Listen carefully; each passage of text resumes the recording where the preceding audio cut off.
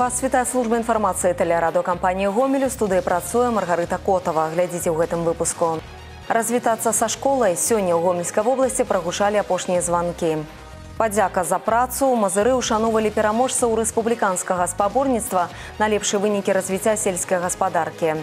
На варце бяспекі граніцы у лове прайшлі ўрачыстасці прымеркаваныя да дня пагранічніка. А зараз аб гэтым і іншым больш падрабязна. Пераможцаў рэспубліканскага спаборніцтва на лепшыя вынікі ў сацыяльна-эканамічным развіцці сельскагаспадарчай галіны ушановалі на мазыршыне. Менавіта гэты раён па выніках работы ў 2019 годзе стаў лепшым у Беларусі. Да мерапрыемства далучыліся нашы карэспандэнты. Харчовую прадукцыю пад брэндам зроблена ў Беларусі ведаюць ва ўсім свеце. Яна карыстаецца попытам у 100 краінах. Нават падчас пандэміі заключаныя кантракты не спынялі дзеяння. Як адзначыў намеснік міністра сельскай гаспадаркі і харчавання Владзімир Гракун, планы, якія стаяць перад аграрыямі на 2020 год, выканаюць. Праведзена пасяўная кампанія. Клін хлебнага поля дадаўся. У параўнанні з мінулым годам у два разы павялічылі плошчу пасеваў грэчкі. Бульба пасадзілі 104% да плану. Акцэнт зробяць на захоўванні ўраджаю. У краіне пабудавалі сховішча ў больш чым на 800 тысяч тонн, што дазволіць рэалізоўваць бульбу на працягу ўсяго сезона попыту. Благодарим людей за труд села, за то, что они работают, выполняют э, свою работу, обеспечивают наше население продовольствием. Э, Сегодня мы э, имеем э, достатки и э, хлебобулочных изделий, то есть муки зерна, имеем мясомолочную продукцию, э, плюс ко всему э, имеем э, ресурс поставки на экспорт. Э, Это мясомолочная продукция. Па выніках працы за 2019 год перадавіком у сельскай гаспадарцы сярод раёна ў Беларусі стаў мазырскі. За значны ўклад у развіццё галіны працаўнікам АПК раёна аб'яўлена падзяка прэзідэнта і ўручаны сертыфікат на трактар Беларус. Узнагароду з рук памочніка прэзідэнта інспектара па гомельскай вобласці Юрыя Шулейкі прыняла старшыня райвыканкама Алена Паўлечка. Падзяку прэзідэнта і сертыфікат на трактар уручылі і калектыву работнікаў КСУП «Саўгазкамбінат «Зара». Работают все цеха, работает производство. И со дня в день увеличиваем надои. Э, В марте месяце открыли э, новую ферму, идет комплектация. Создали уже порядка 15 рабочих мест. Вовремя отсеялись, имеем хорошие виды на урожай зерновых. Э, Конечно, чуть-чуть холодная погода сдерживает развитие кукурузы, но я думаю, что в ближайшие дни уже передают тепло. Растения в развитии э, наверстают то, что было упущено. Прадпрыемства не толькі стабільна паказвае высокія вынікі, але і забяспечвае раён новымі працоўнымі месцамі, гарантуе высокую заработную плату і добры сацыяльны пакет. Клапоцяцца пра супрацоўнікаў і на рагачоўскім малочна-кансервавым камбінаце. З 1 мая для абслугоўвання сыравіннай зоны тут адкрылі новае прадпрыемства рагачоўскі мкк сервіс і стварылі 59 працоўных месцаў. Па выніках мінулага года адкрытае акцыянернае таварыства стала пераможцам у намінацыі лепшая арганізацыя работы па ахове працы сярод сельгазарганізацый. Па словах кіраўніка, эпідэмічная сітуацыя ў свеце практычна не адбілася на рабоце мкк. Атрымалася нават асвоіць новыя рынкі. А, наоборот, еще более увеличились поставки, конкретно если по Рогачевскому молочно-консервному комбинату, то где-то процентов так на 20-30 мы увеличили поставку на Российскую Федерацию конкретно консервантов. Это молоко сгущенное, которое с долгими сроками э, хранения. Диверсификация продолжается. Мы на этот период вышли вот на дубайский рынок, э, Арабские Эмираты и пошли уже на постоянный рынок. Э, Не сорвались поставки ни в Соединенные Штаты, ни в Израиль. Ні адзін калектыў не зможа дасягнуць поспеху без добрага кіраўніка. На яго плячах ляжыць прыняцце рашэнняў і вялікая адказнасць. Менавіта такім кіраўніком з'яўляецца Галіна Трыбунах, дырэктар адкрытага акцыянернага таварыства «Звязда» Чачэрскага раёна. За плённую працу і асабісты ўклад у развіццё галіны яе ўзнагародзілі ганаровай граматай Савета міністраў Рэспублікі Беларусь. для сельского хозяйства очень такие тяжелые условия природные и погодные, поэтому очень сложно нам сегодня работать. Но каждый человек, который работает в сельском хозяйстве, должен быть оптимистом и всегда надеяться только на лучшее, на хорошие успехи, на высокие урожаи. Только тогда мы достигнем того, что мы должны достигнуть. Ну, а работаем, конечно же, качество продукции должно быть, мы ее реализовываем, мы выходим на уровень и других стран, поэтому мы будем жить, у нас будут деньги, мы будем работать с прибылью, и все будет у нас хорошо. Усяго падчас урачыстага мерапрыемства было уручана 13 узнагарод. Ганна Каральчук, Сергей Нігеревич, Ігор Марышченко, телерадыёкампанія Гомель з Мазырскага района. Віншаванні, плац-канцэрт і адкрыццё музея баявой славы на тэрыторыі пагранкамендатуры лою прашлі ўрачыстасці прымеркаваныя да дня пагранічніка.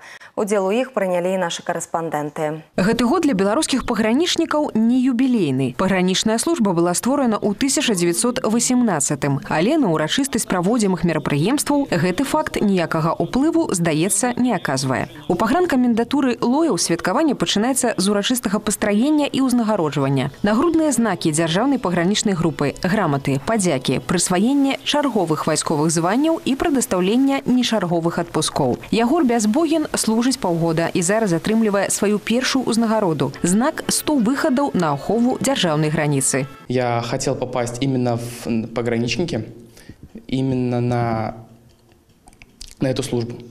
То есть я очень много про нее слышал, очень много интересовался, и именно сюда меня все это и вело. Когда мне в военкомате сказали, что ты, ну, что тебе предлагают попасть в пограничники, я без промедления сказал «да» Пагранічнік прафесія сапраўды адказная. Сёння ў органах пагранічнай службы больш як 13 тысяч чалавек, якія ахоўваюць каля дзвюх тысяч кіламетраў граніцы на латвійска-літоўскім, польскім і украінскім накірунках. Аб эфектыўнасці работы гомельскай пагранічнай групы можна меркаваць па выніках яе службовай дзейнасці. За 2019 год и 5 месяцев 2020 года на участке Гомельской пограничной группы задержано 870 нарушителей законодательства Республики Беларусь государственной границы и правовом положении иностранных граждан. Причинено 88 попыток перемещения товарно-материальных ценностей, из них 72 в пунктах пропуска на общую сумму порядка 700 тысяч белорусских рублей. Для нашего региона, наверное, основным правонарушением будет являться это э, рыболовство – пограничной полосе с нарушением установленных правил Сярод запланаваных урачыстых мерапрыемстваў адкрыццё пакоя баявой славы. Па сутнасці гэта невялікі музей, стэнды якога прысвечаны гісторыі вызвалення Лоева, дняпроўскай флатыліі і герою Савецкага саюза пагранічніку Мікалаю Сушанаву. Яго імя зараз носіць лоўская пагранзастава. У мінулым годзе на тэрыторыі камендатуры адкрылі прысвечаную герою мемарыяльную кампазіцыю. Тады начальнік гомельскай пагранічнай групы паабяцаў родным Сушанова стварыць пакой баявой славы, цэнтральнае месца ў якой зойме інфармацыя аб героі. Гомельскія пагранічнікі ўвогуле прымаюць актыўны ўдзел у жыцці пагранічных тэрыторый. Урэшце лозунг граніцу радзімы ахоўвае увесь народ не страціў актуальнасці і ў нашы дні. У нас на территории Лоевского района 24 населенных пункта относятся к пограничной зоне. Наши пограничники участвуют в работе смотровых комиссий в данных сельских населенных пунктах. Также принимают участие в проведении сходов граждан, на которых они проводят информационную работу по разъяснению гражданам правил нахождения, проживания, ведения хозяйственной деятельности на территории пограничных и сельских населенных пунктов. Уже несколько лет на территории нашей погранкомендатуры создан и работает военно-патриотический лагерь «Патриот», куда приезжают дети не только лоевские, а также ребята из э, Брагинского, Хойницкого и Реческих районов. У пагранічнай службе прафесійная свята мае свае асаблівасці. Сабраць разам усіх ваеннаслужачых немагчыма ў прынцыпе. Безнадзейнай аховы дзяржаўная граніца не застанецца ніколі. І гэты факт робіць свята яшчэ больш значным і ўрачыстым. Як бы не змяняўся свет, гэтай справай займаюцца толькі сапраўдныя патрыёты і прафесіяналы.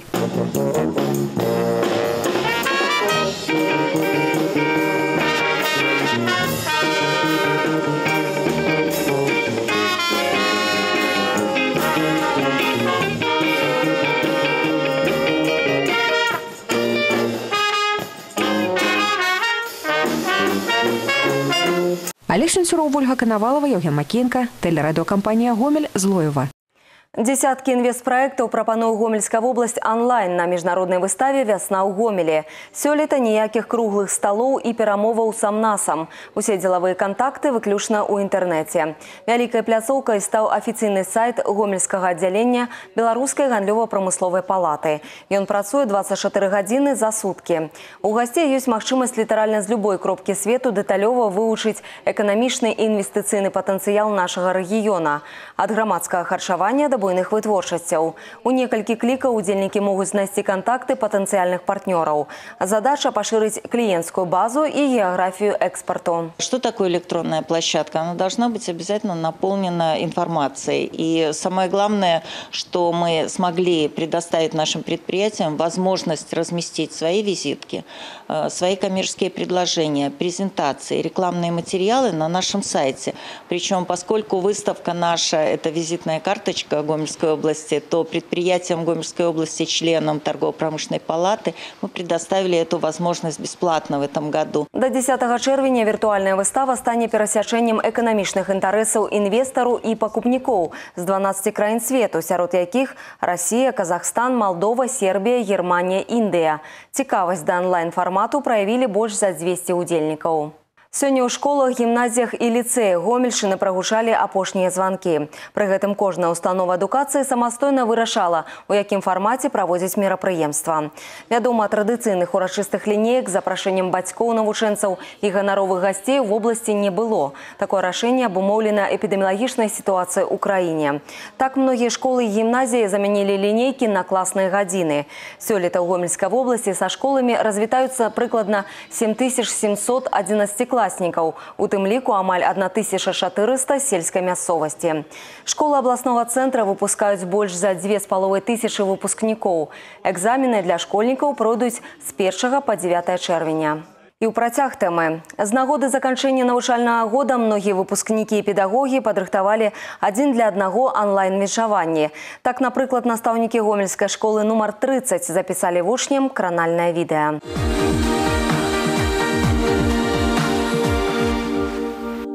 Сейчас быть рядом не могут люди, сейчас быть вместе не могут люди. Педагагічны калектыў перапеў песню шукаю цябе з кінастужкі 31 чэрвеня. Здымкі музычнага кліпа занялі практычна цэлы дзень. Кампанію выкладчыка музыкі склалі матэматыкі, фізікі і нават настаўнікі працы. На відэа яны прызнаюцца ў сваіх пачуццях і распавядаюць, як моцна яны мараць аб сустрэчы з вучнямі. Мы все друзьям полетим, как птицы, когда откроются стран границы. Однажды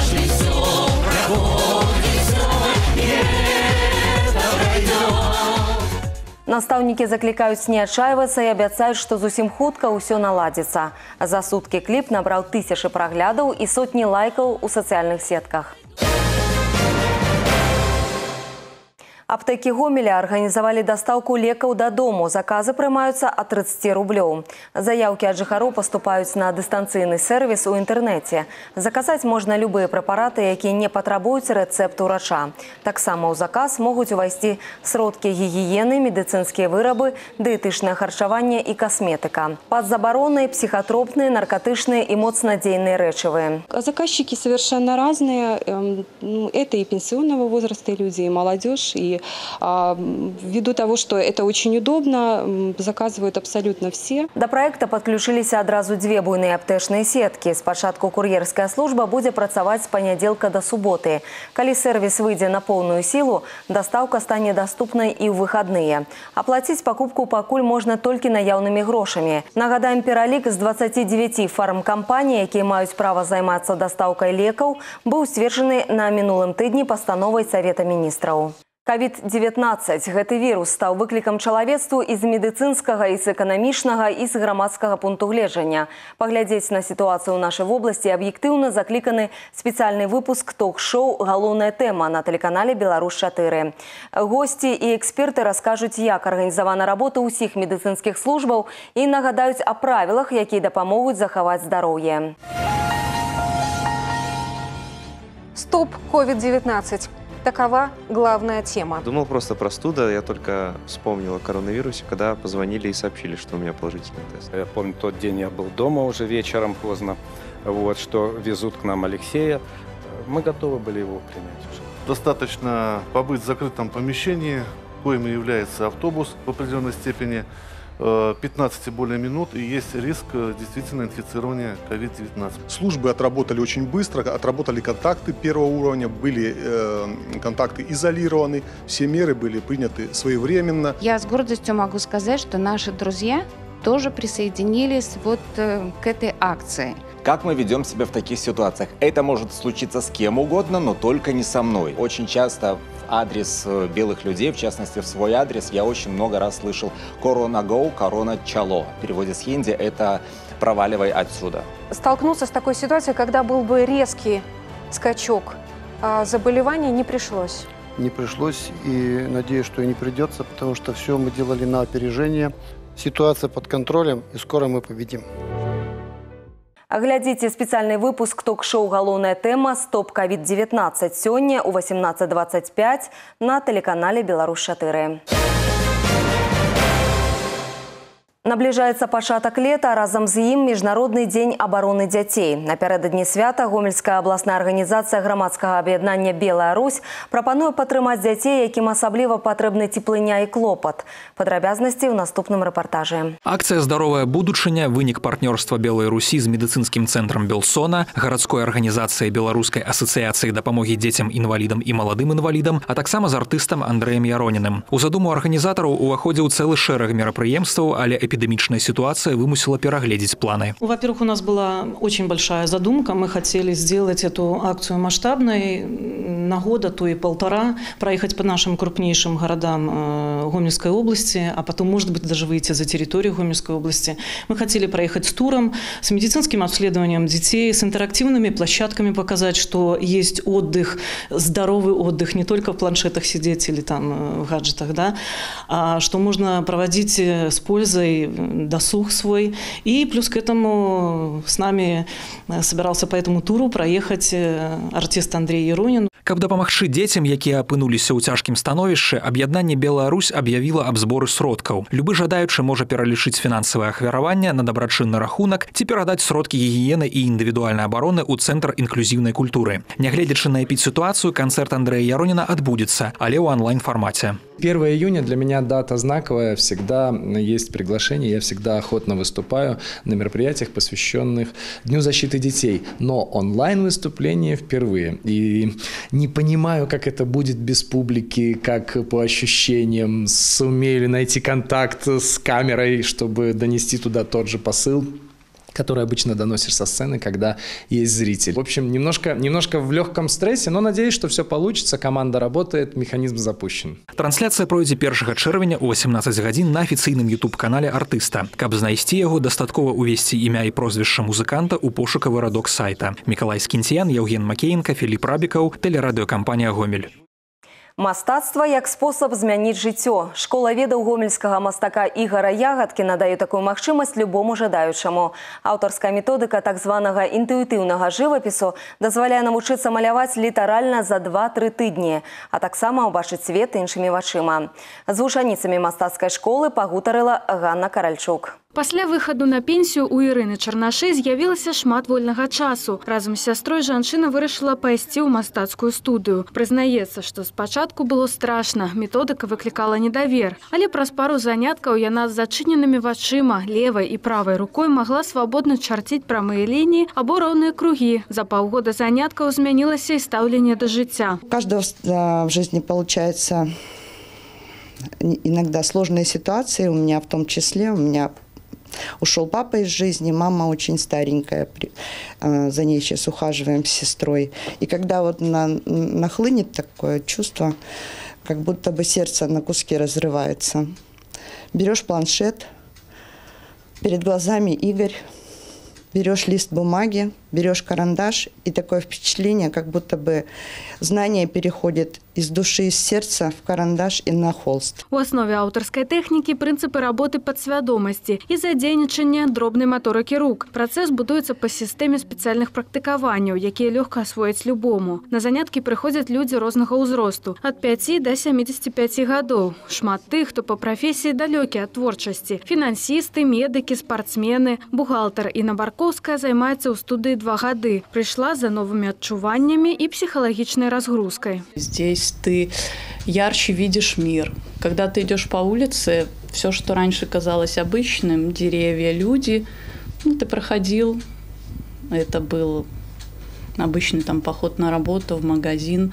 На сегодняшний день уже ты идешь по улице и смотришь, что деревья более интересные, люди с необычными выражениями лиц, которые тебе могут что-то напоминать. То есть это положительные эмоции, которые врываюцца скажем в твою жизнь Інна кажа што ў студыі не столькі тэхніцы вучаць колькі развіваюць фантазію у кожнага вучня атрымліваецца свае персонажы і вобразы у кожнага прасочваецца свой стыль например там я вот все время хотела нарисовать там русалку я русалку а нет, там не русалка, а там какой-нибудь корабль выходит, и ты понимаешь, что то, что ты хочешь, это твое решение, да, а то, что идет изнутри, из твоей души, это абсолютно, э, абсолютно другое понимание. На занятии четвертое, пятое я стала понимать на самом деле, что много чего мы не видим, Стаматологу Вользе ў дзяцінстве сказалі, што яна ніколі не навучыцца маляваць. Праз год вучобы ў студыі дзяўчына даказала адваротнае. На першым занятку настаўнік кажа вучням: « Вы будзеце маляваць геніяльна. На працягу ўсяго шляху натхняе, падтрымлівае. Такая вера і матывацыя даюць сапраўды станоўчыя результаты. Вучні па-іншаму глядзяць на сябе і асяроддзе, у іх расце самаацэнка. І нават тыя, хто мае праблемы са здароўем, заўважаюць паляпшэнне самаадчування. Ганна Каральчук, Андрей Івану, тэлерадыо Компания Гомель.